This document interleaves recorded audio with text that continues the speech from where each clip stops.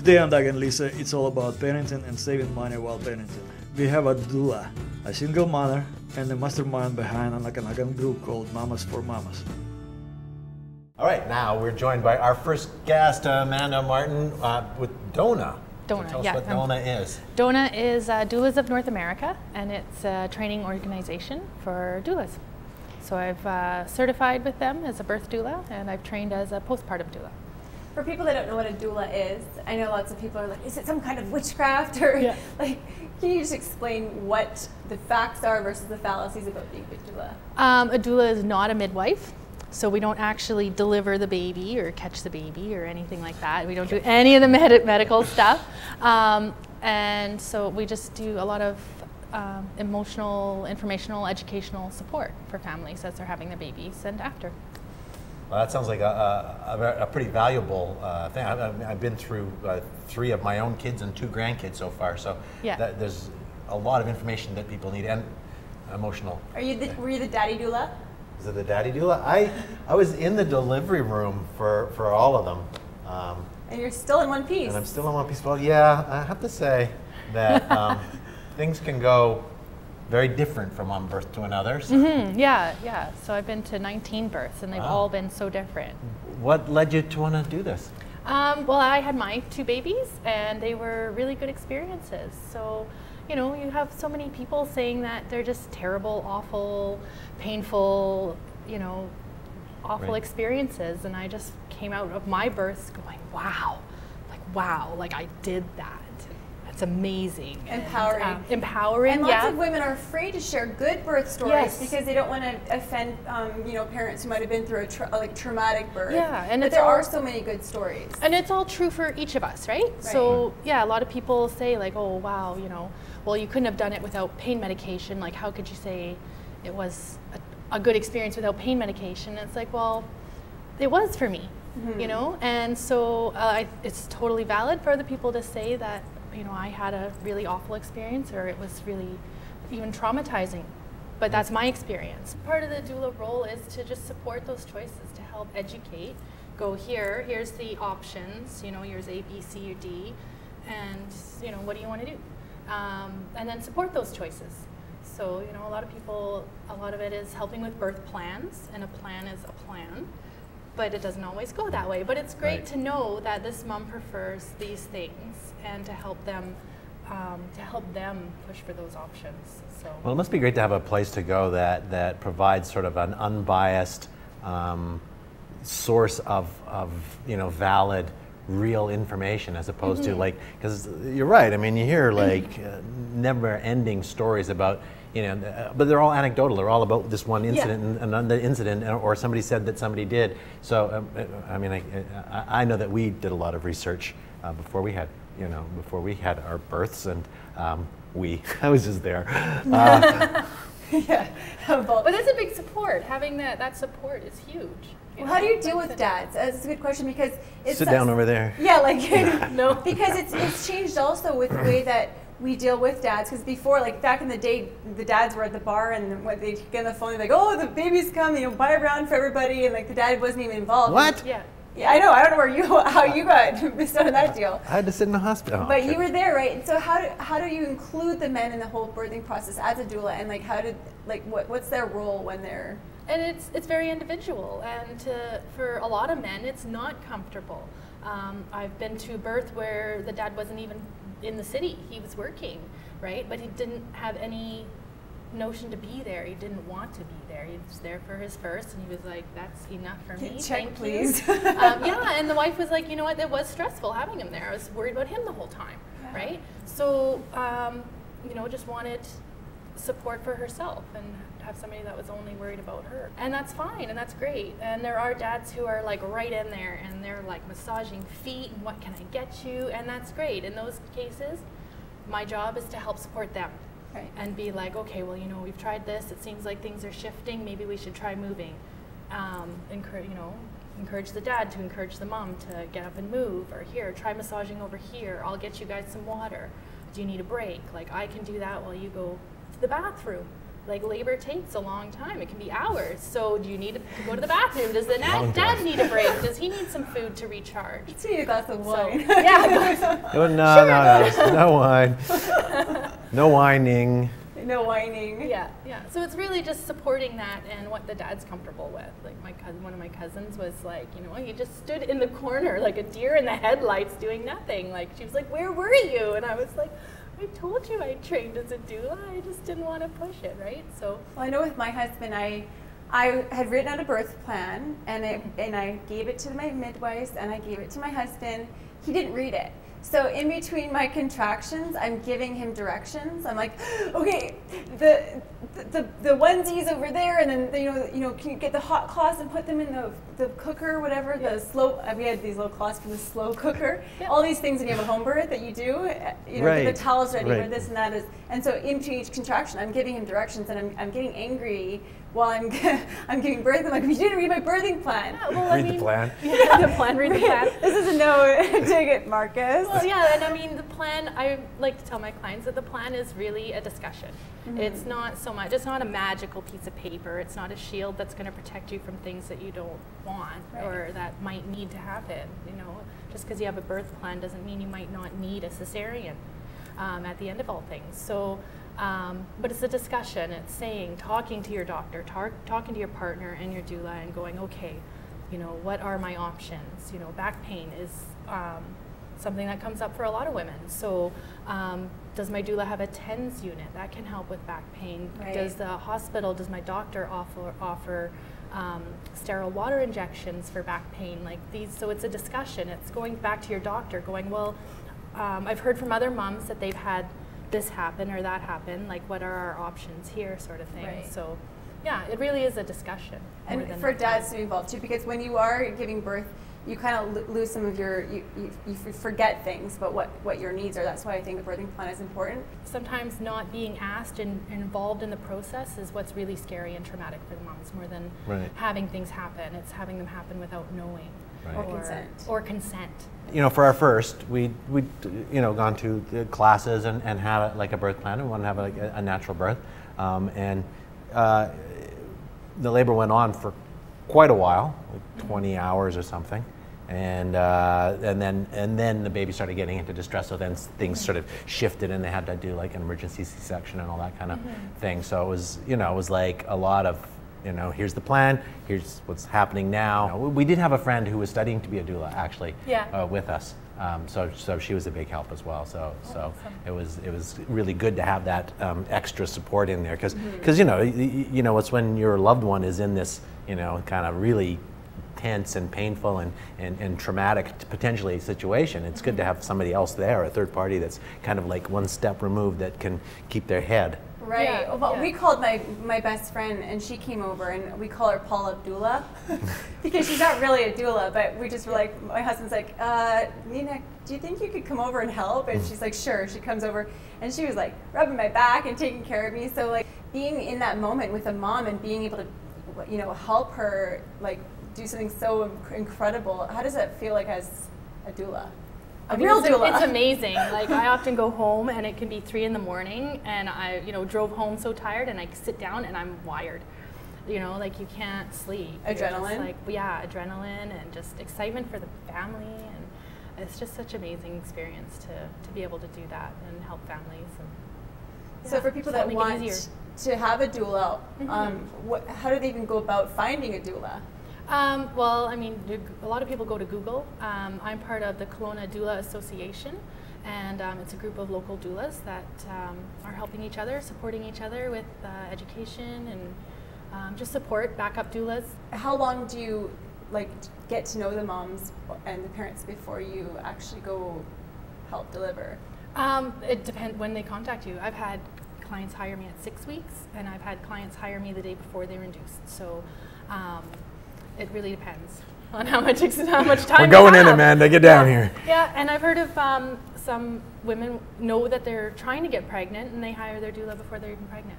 They go, no, I know I want a doula, and they just do all their research. Those are like the ones that buy the wedding dress two day, two years before they even Yeah. get engaged, Or right? before they meet a guy. Before they meet a guy, it's like, yeah, I got Sitting the whole in the wedding. closet. Yeah. Yeah, One day. yeah, Yeah. Awesome. So I mean, it just depends on the person. So thank you so much for coming on and talking to us Thank about you it. for having me. It's uh, it's it's great that there's such fantastic resources for people out there.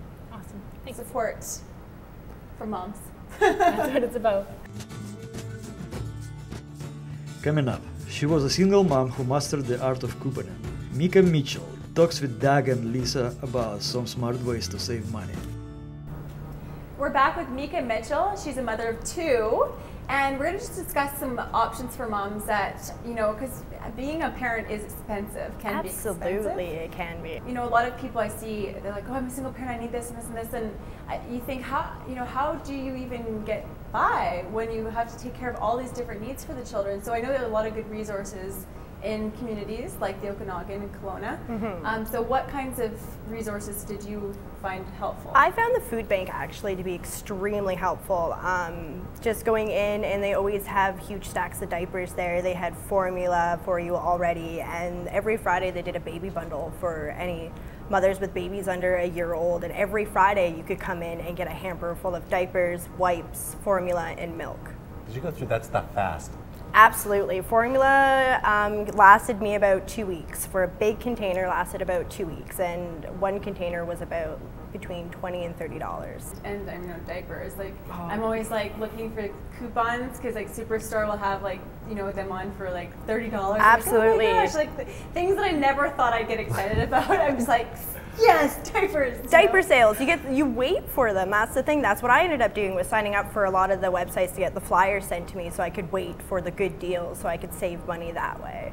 So what other ways were you, do you, did you discover uh, to- Coupons. Coupons? Coupons were absolutely amazing. One of my friends taught me actually how to hardcore coupon, like you saw on TV and Oh, whatnot. those and shows? yes, I was taught how to do that. I did that for the first two years with my son, just to save money. Yeah. Extreme couponing. Oh yeah, it was crazy. So, like, but how- I saved many- so much money that way. Actually, I ended up saving two hundred dollars in a year just by using coupons. Wow. So how, how many coupons would you take in at a time? Like, like My the most I ever took in was thirty, and that was the last time because I was at the till for a very long time, and I was like, this is really awkward now.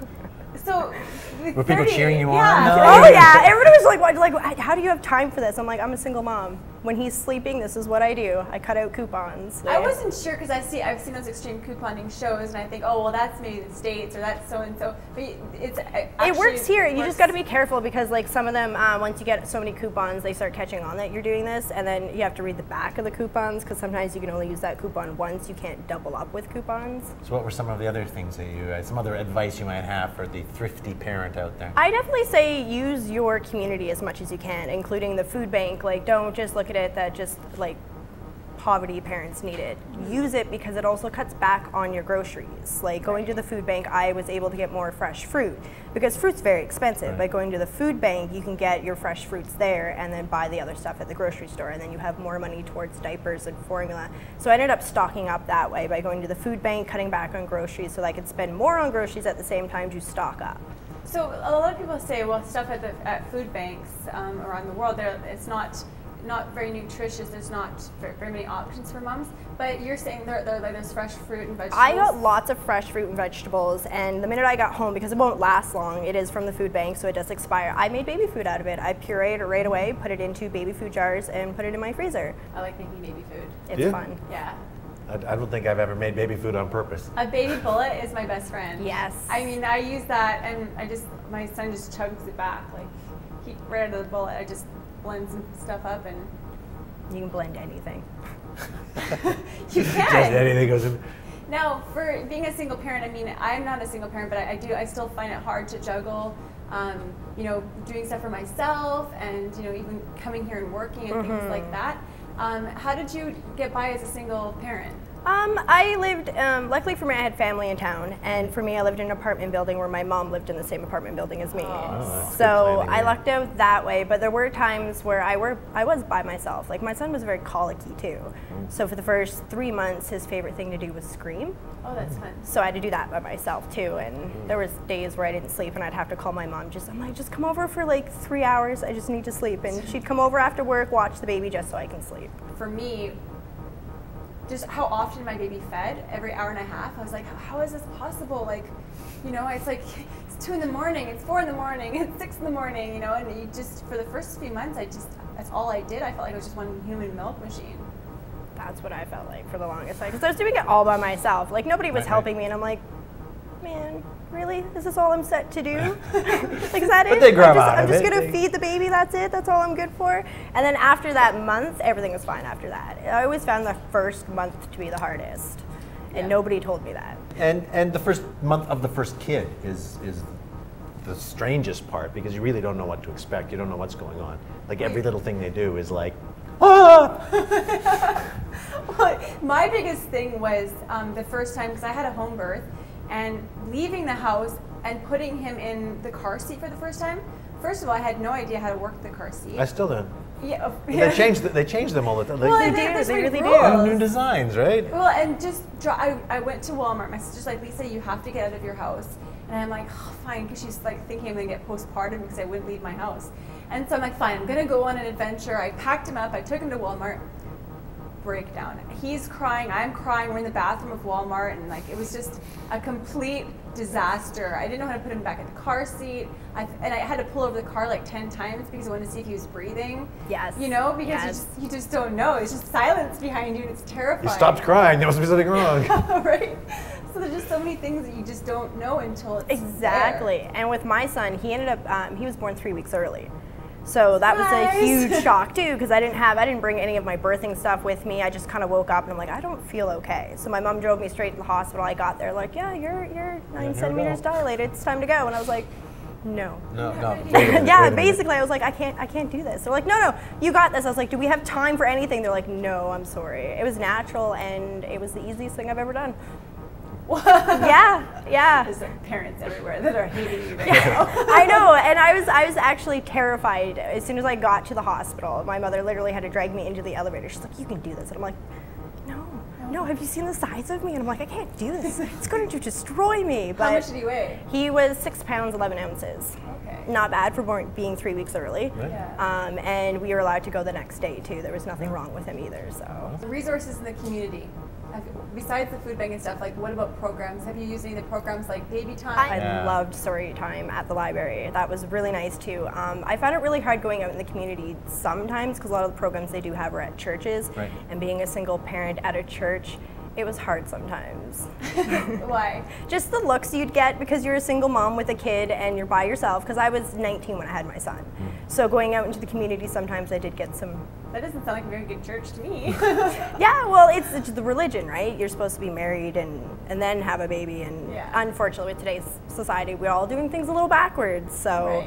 Um, it was a little hard that way going out in the community. But I also found social media to be a huge help that way and Mm-hmm. having like Kelowna meetups for moms and meeting moms that way because a lot of moms are nervous to go out into the public with their child. And I can completely understand that. Right. So by having the social media is a great way. We ended up connecting, and it was a good way for me to make friends who had kids around my age too. right. So- Well, that's another guest we, we have on. Um, she's our next guest. Um, is Mamas for Mamas. Yes. And it's an amazing tool for moms. I mean, Facebook, people can say whatever they want about social media and stuff, but I mean, I, anyone, I love Facebook. it's my favorite. Instagram is my favorite, actually. But Facebook, I mean, there's all these groups for moms, and Absolutely. Mamas for Mamas, it's a, no money's exchanged. It's I all just used it the other day actually um, to get clothes because clothes is expensive, not Yeah. just for myself but for my kids. But this girl was like, I have clothes for a mom.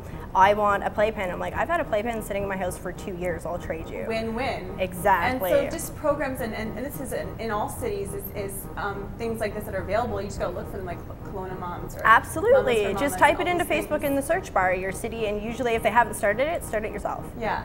and it's great. I really enjoy social media just for that. It's Yeah. a lot easier. It's nice because it's community helping the community more. Thanks so much for coming in. Thank you Thank you so so much. much. Coming up, what started as a handful of moms sharing baby stuff has now become a countrywide nonprofit. Shannon Christensen of Mamas for Mamas joined Doug and Lisa next. We're back with Shannon Christensen, and she is the founder of Mamas for Mamas. That's right. We started it in April of 2014, and Okay. it's growing steadily. And for people who don't know about it, like Yeah, this sounds like, at least I mentioned a little bit of, uh, it sounds like a great idea, but explain it maybe. Well, it's really neat, actually. It's a platform where everybody, all moms, can join um, a common cause and get together and um, trade, donate, support, and connect.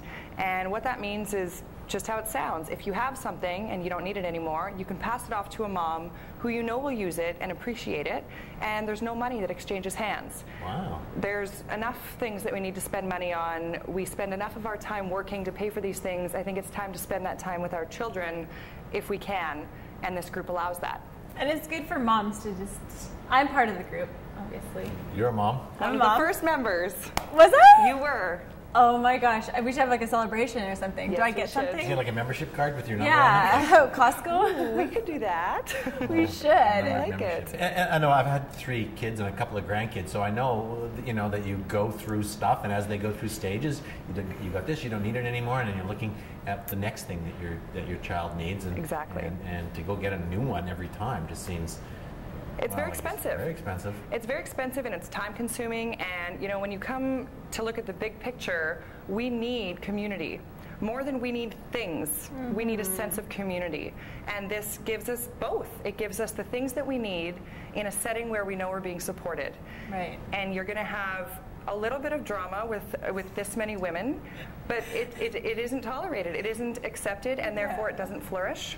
And so the women that we have are all very like-minded, connected, beautiful souls who just want to help each other. Yeah, and it's not just stuff like I on the group. Like people will say, "Not sure if this is mama related," but you know, and then a cue advice like you know on certain things. And I, some topics are hot. You know what? You're going to have Like your, every parenting topic. your vaccination, your circumcision, and your breastfeeding. But and even the car seat, like I posted something on. I had no Yeah. idea. I'm in Walmart and I'm like, okay, well, I think I needed size two now or something. Is there an extra size? Is there next size? Like I'm a new mom. Yeah. And I have the first size, and my, my son's humongous. And so I'm like, so I just randomly posted on to the mamas group, and I said, hey, what size of baby do you have to have for a size two? And then there was 70 comments. in like an hour, it blew up. and blew up, and I was like, "What?" They've got passion. Because they're like, well, no, you have to do it like rear facing because for as long as possible, and so You're yeah. going to have people who are 100% safety oriented, and you are going to have people who are 100% pop culture oriented, and then you're going to have those who do their research and meet in the middle. But every one of them has a valid opinion, Yeah. and as long as they share it respectfully, we welcome it. So what did you what did you come up with the idea? How did, how did it evolve?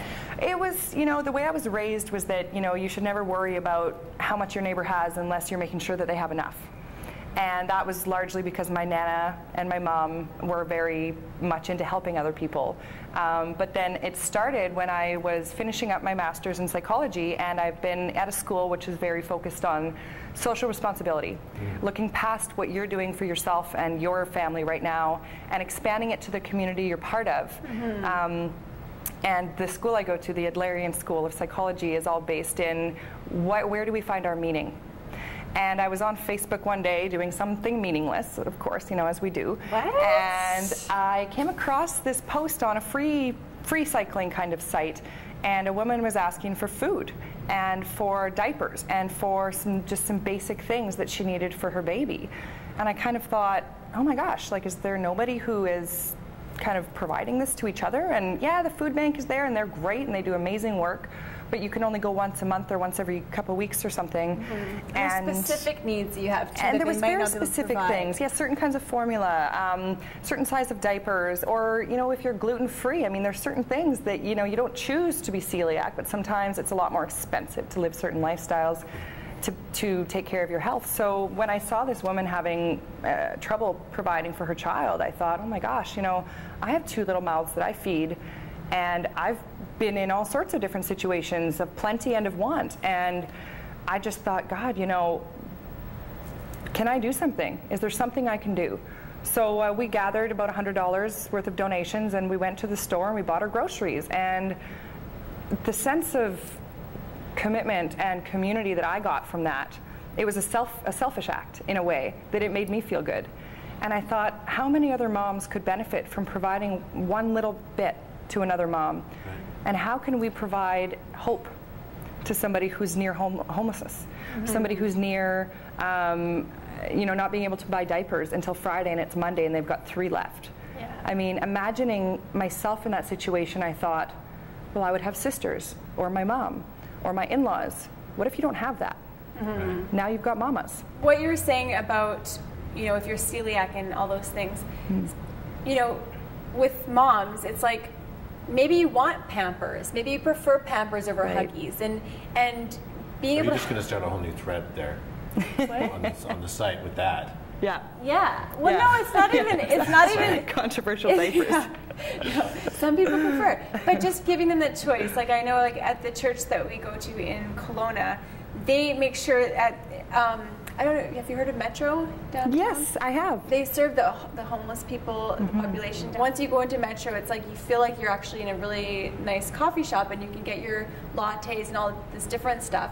Because it's giving that, it's like, oh, well, they're, they're homeless, so they should just take what they can get. Yes. But maybe they want a certain brand of coffee. Maybe Yeah. they want a certain brand of diapers. You know, Yeah. and, and they should have that ability to have access to that if someone Yeah. can give that. And I don't like the mentality beggars can't be choosers. First of all, no one's begging. yeah. We all have dignity. Sometimes we just need help getting what we need. Yeah. And we shouldn't be judged on what we need and what we're asking for as long as we're doing it in a respectful way. right. And like you said, and we have some moms who trade, I've got a sleeve of Pampers, baby can't use them for whatever reason, can I trade for Huggies? And there's so many who are happy to help. Well, and even like the there was a one on the I know the back is Doug's like not a mama, you're a papa, but like one one of the threads um, just the other day was um, a girl trying to trade Annie's mac and cheese for um, Kraft Right. dinner, right? Her kids didn't like it. Yeah, but that's just like that's the kind of thing. It's like you can. What, kids not like a can that. specific food? Who'd ever heard of such a thing? Yeah, you, you should know all about this stuff. This stuff, they'll eat it this month, they won't eat it next month. Exactly. and now you have somewhere to offload it. Yeah. And not just that, you're not just donating it to the food bank or something, which is which is great, but you're also getting what you need in return. Right. And you know, we've had entire nurseries donated. You know, we've had full, you know, a crib and a rocking chair and a high chair and a stroller and a car seat. And it's like, you know, I'm sure you can have, find a mom who needs this. And I'm going, I could probably find six.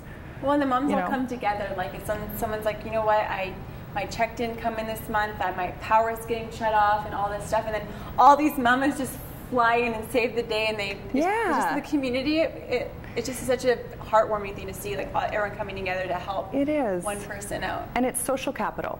You know, we have a lot of, you know, financial capital that we can kind of throw around and I always ask myself, you know, yeah, it's you know, it's great to throw money at a problem, but what about putting your actual social capital into something? The people you know, the networks you've created. Uh, you know, you can live on the same street as an MLA and have clout that you don't have uh, if you live on the same street as somebody who is next to homelessness. So for those who are struggling to have their power turned off, to have somebody who's friends with the MLA and they can say, hey, let me talk to somebody for you. Let me see what I can do for you. Let me find you a, a loophole. Let me find you a way to make this happen. Mm-hmm. I mean, we're bringing people together who otherwise would have never met. Right. You have those making 8,000 a year and those making 180,000 a year. And they're all brought together On one equal. on one on one equal plane and you're you're giving the opportunity for these moms who don't have a whole lot to give back. Thank you so much for coming in. Thank you for having me.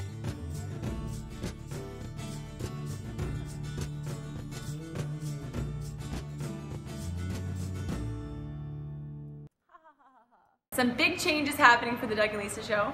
Uh, we were doing a half an hour bi weekly show. Now we're doing a one hour weekly show, which is more of a kind of variety feel. We're going to have some entertainment, some music, interviews, be more like a nighttime talk show. So if you have any talent of any sort, or just want to be a part of the show, you can drop us a line at Doug and Lisa show at gmail.com. Our very first one hour format comes out next week, and it includes people like George Millar of the Irish Rovers, who dares Doug in Ireland to do three different things. Um, we have Claudia from Global Television talking about her career, Carly Fittis from The Juice morning show talking about her life and career, and we also pitched the Doug and Lisa show to Dragon's Den for $1 billion.